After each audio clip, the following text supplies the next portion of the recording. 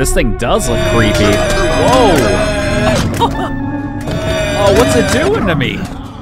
Oh, man. It sent me into some sort of Bonelab backrooms or something. Dude, where am I? Oh, that is creepy. Yeah, this is the creepiest mod I've ever tried. Jeez. I think I'm gonna be stuck in here forever now.